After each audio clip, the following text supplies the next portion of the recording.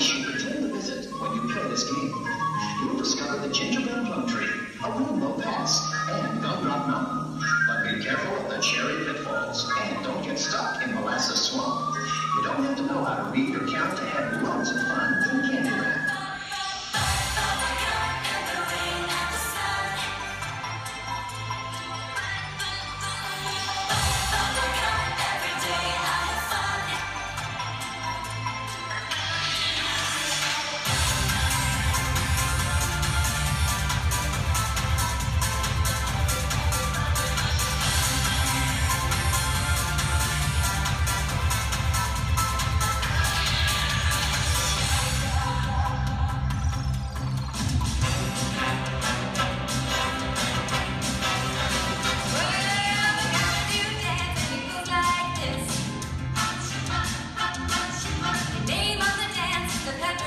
Name